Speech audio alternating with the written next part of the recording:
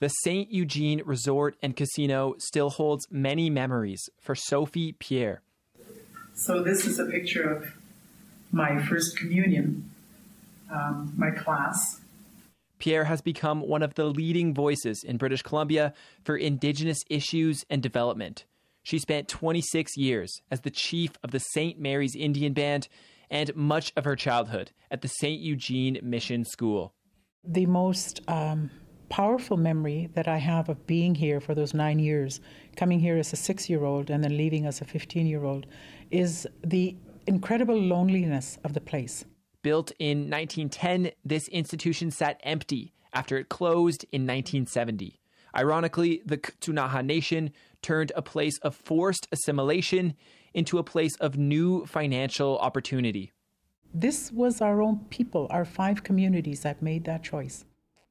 And it was a really tough thing to do. But just like all tourism businesses, St. Eugene has struggled in the past two years.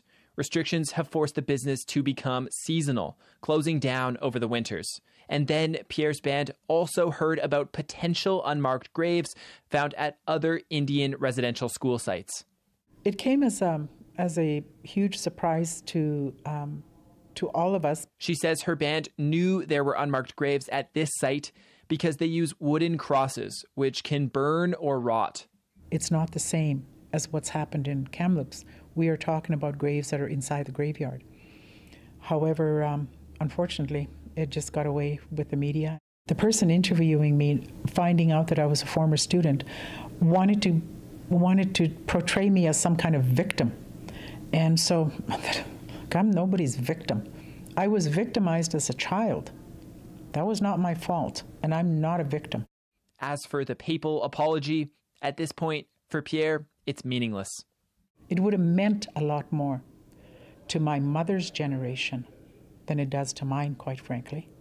Brendan Coulter, CBC News, Cranbrook.